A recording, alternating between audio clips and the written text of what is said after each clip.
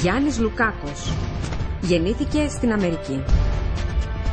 Σπουδάζει μηχανολόγος μηχανικός και αμέσως μετά αποφασίζει να φοιτήσει στην καλύτερη σχολή μαγειρικής του κόσμου, την Culinary Institute of America. Επηρεάστηκα από τις εικόνες στα εστιατόρια που είχε ο πατέρας μου στην Ουάσιγκτον, αλλά και από τις μυρωδιές στην κουζίνα της μητέρας μου. Η πρώτη του δουλειά είναι στο ξενοδοχείο Waldorf Astoria και στο εστιατόριο Park Avenue Cafe στο Manhattan της Νέας Υόρκης. Κάθε κάψιμο, κάθε κόψιμο στα χέρια, κάθε επίπληξη του σεφ με έφερε πιο κοντά στο στόχο. Το 2000 επιστρέφει στην Ελλάδα. Καταφέρνει να δημιουργήσει το δικό του στυλ στη μαγειρική, το οποίο έχει αναδειχθεί δύο φορές.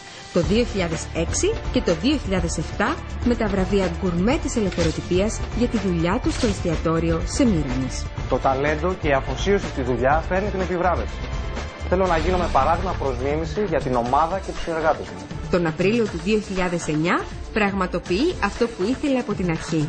Δημιουργεί το δικό του εστιατόριο. Το προσωπικό στυλ θα πρέπει να εκφράζει πρώτα εμένα τον ίδιο. Αλλά είναι σημαντικό να έχω αίσθηση για τα γούστα των ανθρώπων που αποτελούν το κοινό μου. Δεν μου αρκεί τα πιάτα μου απλώς να χορταίνουν, αλλά να τρέχουν πραγματικά.